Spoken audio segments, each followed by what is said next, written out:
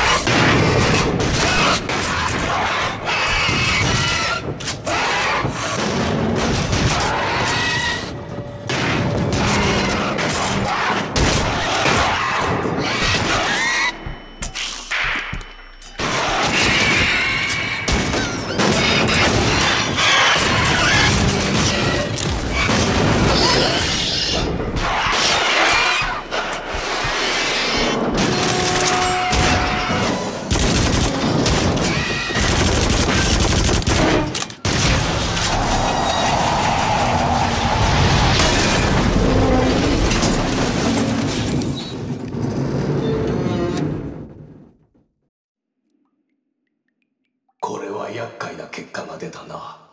ついに君の命にも関わりそうな話になってきたようだ。